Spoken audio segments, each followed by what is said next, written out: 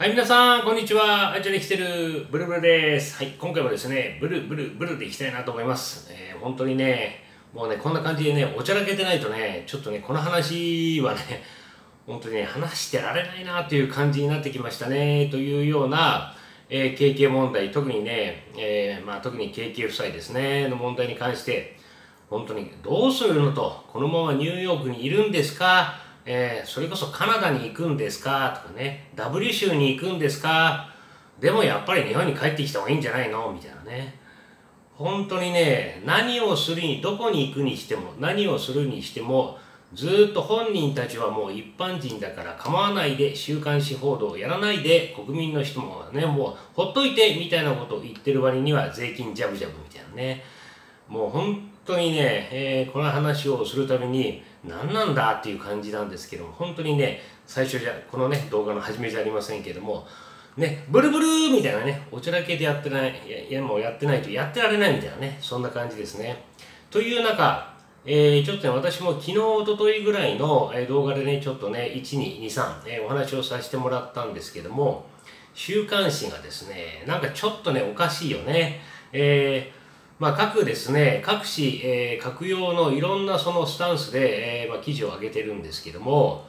えー、ちょっとね、ある、まあ、1、2の週刊誌に関してはですね、今までなんかね、この今までなんかどちらかというと景気負債なんだよとかですね、あるお家なんだよとかね、H 様の、ね、低傾向進学制度、これ、低傾向進学制度、これなんだよみたいな話を言っていたにもかかわらず、本当のね、本当に手のひら返しですね。というような記事を出しているというようなところもあります。という中で、えちょっと今朝方なんですけども、え新潮がね、えデイリー新潮の方が、え記事を出しておりました。で話の内容というのはね、もう皆さんよくご存知の話ですけども、えー、例のあるお家のご当主、まあ、ご夫妻がですね、実際の新しく、え、ニューヨークの新領事、えー、総領事に、えなりました、その森幹夫さんですね。えー、まあ、東大法学部を出られて、もともとはアフリカ畑、なぜニューヨーク？みたいなね、森美京さんですけども、えー、あれは1月の末、27日でしたかね、えー、実際に、え、まあ、あの、会われてですね、どんなような話をしたか分かりませんけど、みたいなね、こともちょっと書いておりますし、それに伴って、じゃあこのね、経験負債本当にどうするの？っていうようなことで、まあ、今回のこの記事の中ではね、えー、実際にビザの問題だとかね、えー、本当にね、えー、ローウェンステン・サンドラがね、えー、ビザの応援してくれ、サポートしてくれるのもしかしたらクビになるんじゃないのニューヨーク州のね、試験がいよいよ発表がね、来月ですけど、それが本当にダメだった場合には日本に帰ってきた方がいいんじゃないの？っていうようなことも含めてね、まあ、これは今日のね、このデイリー新潮の、記事の内容は、まあ、いつもの新潮のね、スタンスで話をしてるかなという感じですね。ちょっと紹介させてもらいます。で、えー、表題がですね、えー、ご当主、まあ、あるお家、あるお家と総領事の異例の面談ということで、えーとですね、えー、しょっぱなからなんか書いてあるな。ビザ発給や警備関連の問題がクローズアップされてきて、えー、経理庁からは2人のためには、えー、帰国した方が良いのではないかとの声が聞こえているという。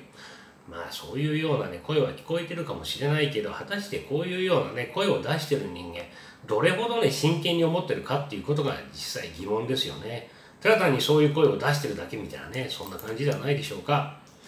で、えー、3回目のね、試験をね、パスできなかったら、今現在の法律事務所、すなわち、まあ、ローウェンステイ・サンドラですよね。そこからね、えー、クビになる可能性もあるね、みたいなね。まあ、これはもう皆さんよくご存知の話。で、あと、あと、えー、例のですね、OPT が5月から7月。まあ、一番遅くてね、7月ですけどね、それぐらいに切れるんじゃ切れるんじゃないかとかですね、そんなようなことが書いてあって、まあ、この辺はもうね、ずっと話をしてきた内容なんでいいですね。やっぱりね、ちょっとね、こういうようなあの記事の内容で、もう今現在ね、誰がどういうようなことを言ってたっていうことをね、ちょっと中心にピックアップしていきたいんですけども、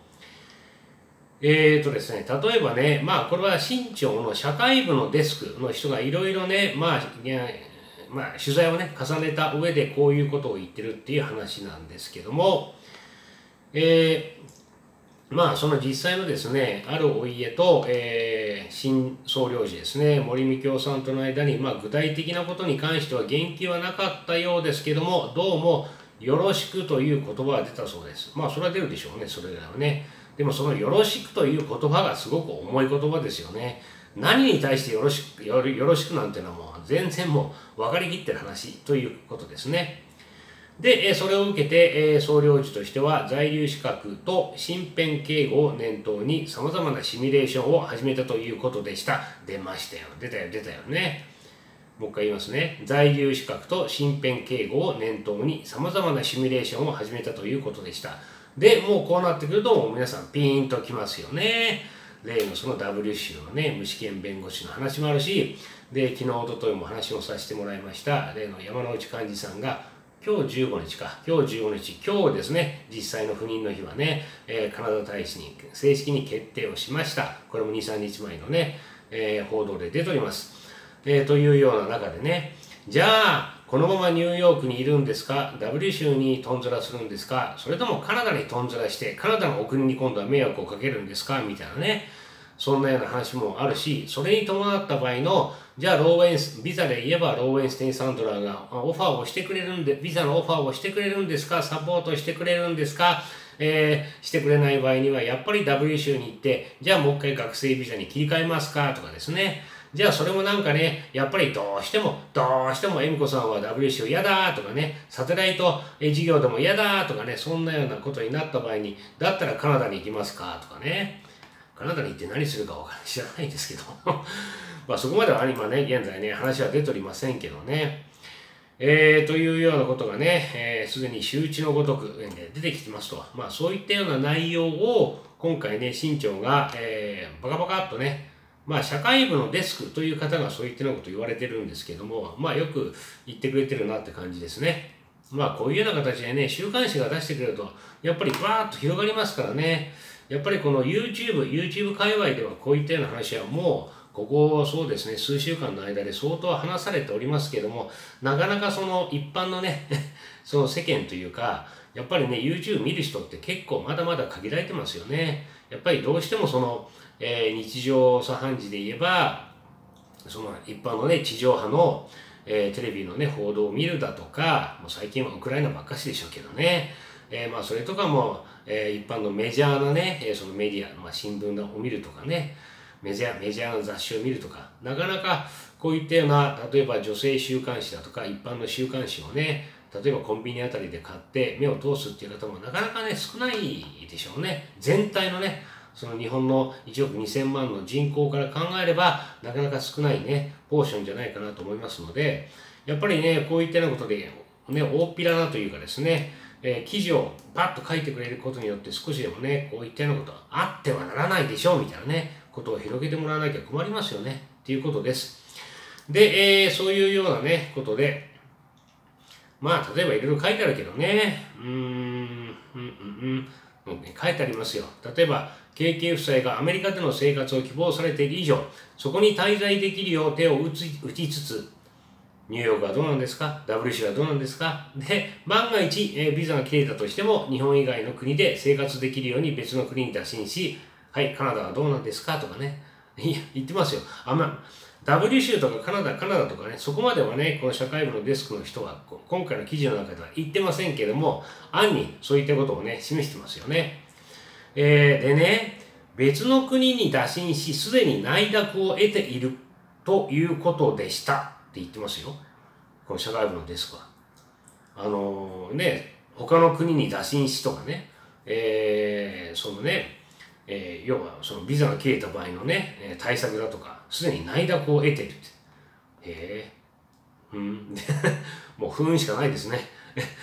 で、ではね、身辺警護どうですかっていう話に関してもね、あくまでも負債は一般人ですから何かトラブルが起こり得ると判断されるまでは SP をつけることは難しい実際ついてるよって、一人や二人ね、影に隠れてついてるよって話ですけどね。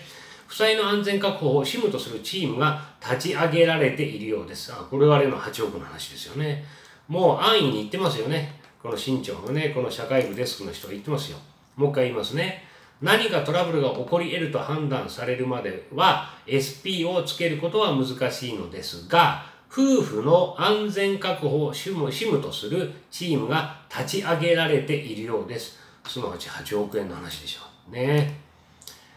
で、そういったような中で、えー、じゃあ日本にいればっていう話ですよね。まあこれはあの新潮の記事の中で、まあ、言ってるだけの話ですけども日本にいれば当然ビザの問題はないし警備だってねある程度当然それこそねアメリカの警備費用なんかに比べればね全然低いですしね当然そういったものがね税金から使われるっていうことになれば国民黙っちゃいないよみたいなねそういった話かたや最後にこのね新潮のねデスクの人、えー、言ってますけど社会部デスクの人なんか言ってますけどもねえー KK 夫妻は一般人であり、ご自身たちもそのように見てほしい、扱ってほしいと考えているようですが、もうなんかこうやって読んでるとね、もうおちゃらけムードに読む読むしかないですね。KK 夫妻は一般人であり、えー、らしいですよ、皆さん。ね、もう一回言いますね。KK 夫妻は一般人であり、みたいなね。ご自身たちもそのように見てほしいらしいです。えー、扱ってほしいと考えているようですが、じゃあ税金使うねよ。ねえ海外にいるから税金は払ってない。ね税金も全然払ってないですよ。当然働いてないから所得税はないでしょ。ね、で、海外にいるからね、はい、個人所得税払ってません。海外にいるから住民税払ってません。えー、社会保険はどうなの？年金も当然払ってないでしょ。何も払ってないですよ、多分これ。何にもね、例えば日本でサラリーマンを普通にやっておられる方が給料からどんどん今天引きされますよね。そういった天引きされるようなお金、この人たちはね、全て払ってないですよ。で、まあ、ね、本当になんかね、私もたまに言いますけども、あの、あなたのものは私のもの。私のものも当然私のものよっていうね、KK 母子のあの今までのね、えー、お得意のパターンじゃないでしょうかね。えー、で、えー、ただし、恵美子さんが、将来の天皇陛下である H 様の姉上という立場はこれまでもこれからも変わりませんと、つまり関係する当局か2人を一般人だと捉えることはないということです。となると、改めて皇室特権出てきたね。〇〇特権出てきましたね。えー、〇〇特権的な批判が持ち上がる可能性もあり、KN 庁はそれを警戒しているということでした。これ KN 庁のね、誰が言ってるか知りませんけども、何当変木なこと言ってるんだっていう感じですよね。もう、何を今更そんなこと言ってるんだって話ですよね。もうこんなもん結婚する前からずーっと前から言ってる話ですよね。まるまる特権の話はね。それをなんか今更ですね、今更そういったようなまるまる特権的な批判が国民から持ち上がるというような可能性を KN 庁の誰か知らないけど、そういったことに対して警戒してる？何よね。もうなんかね、うん、あの、ここら辺が、ここら辺がちょっと脳天気ですよね。もうほんとね。えー、そういったような記事ですっていうことですね。で、そういったような経理庁の懸念もあったとしても、えー、党の当人の恵美子さんに関しては絶対に、これはもうご存知の通りですね、絶対に日本になんか戻りたくないという思いは揺らいでいないと。まあ、そりゃそうなんでしょうね。えー、すぐに帰国が実現することはなさそうだ。だから、だから WC なんですか？だから、えー、ね、えー、もう一回学生ビザ取るんですか？だからカナダに行くんですか？じゃカナダはどういうようなステータスで行くんですか？でまた学生でカナダでですね、ロースクールに通うんですか？もしくはね、適当な就職先を見つけて、カナダのワークビザ、えー、就労ビザを取るような形で学作するんですか？とかね。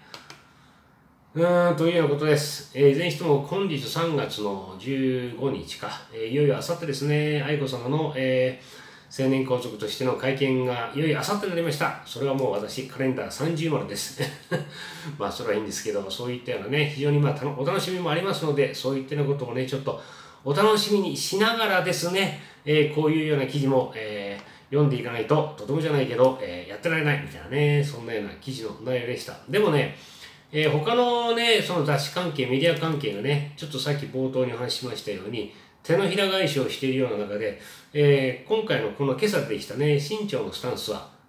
変わっておりませんね。まあ、それだけでもね、ちょっとね、えー、いいんじゃないかなっていう気がします。他のね、ちょっとあえて、どことは言いませんけどね、皆様もうお気づきだと思いませんので、おおお気づきだと思いますので、あの、どこぞとは言いませんけども、あるね、一つ、二つのメディアに関してはもう、コロッと変わってますからね。コロッと変わってね、えーつい昨日、おとといぐらいのね、記事なんかでも、はい、これから、えー、エムコさんだっけな、KK 息子のニューヨークでのエムコさんとの、えー、生活は明るいとかね、明るい未来が待ってるんだ、みたいなね、そんなような記事もありましたからね、あまあいいや、というような、えー、手のひら返しをしているような、えー、メディアもあります。えー、ということなので、ああいうような印象操作もやめてくれよって感じですけどね。いずれにしても今3月の半ば、3月、まあ4月、5月、まあこれですね、4月、5月、ここら辺でね、えー、もう完全にはっきりしますよね。どうなるかね、この4月、5月ぐらいでね。4月の末が、えー、試験発表。で、それに伴って、えー、LS がね、えー、サポートするのかしないのか、それがはっきりしますしね。で、それに伴って当然 OPT が切れますので、その OPT が切れる期間と同時にですね、どうなるのかっていうのがね、えー、この1、2ヶ月、2、3ヶ月の間には完全にはっきりすると。それによってどうなるのか。もういいやん。帰ってくれいいじゃん。っていう話ですよね。えー、帰ってこねえだろうな。帰ってきたら本当またそれこそ大変ですよ。フルボッコですよ。また週刊誌にもね、追っかけ回されるというね。またワンパターンにね、この間の去年の9月みたいなワンパターンになるのでっていうことですね。はい、今回もご視聴いただきましてありがとうございました。それではまたの機会を。バイバイ。